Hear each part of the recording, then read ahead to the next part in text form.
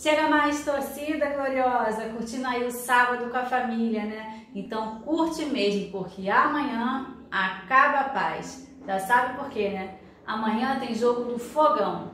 Falando em jogo, gente, eu vim aqui para dizer que a escalação divulgada ontem é a maior fake news. Pô, galera, quando eu vi Rickson de titular, eu já sabia a parada. Provavelmente o garoto que passa a escalação antecipada no papelzinho de pão não viu que em cima do nome do Rickson tinha um leak paper e estava escrito Felipe Ferreira. Pode apostar, gente, a escalação de amanhã vai ter mudanças na zaga e no meio, principalmente as saídas de Rickson de Marcelo Benevenuto.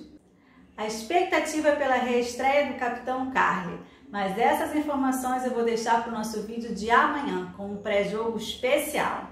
Falando em mudanças, não é só o Babi que está no radar do Atlético Paranaense, não. Parece que o Autuori quer levar o Benevenuto também. Isso é que é demonstração de amor ao glorioso, né? Leva mesmo, Autuori, do a maior força. Difícil será o furacão querer pagar a quantia que o fogão quer, né?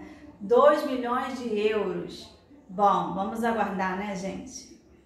E o Calu finalmente está próximo de deixar o Botafogo, mas o custo será alto. 3 a 4 salários para acordo de rescisão. Bom, gente, melhor pagar de 3 a 4 do que 12 meses, né? Valeu, Calu, vai com Deus! E eu também vou, galera. Eu fico por aqui pedindo para vocês se inscreverem no nosso canal, deixarem um like aí no vídeo, tá bom? Beijinho da paz, saudações alvinegras!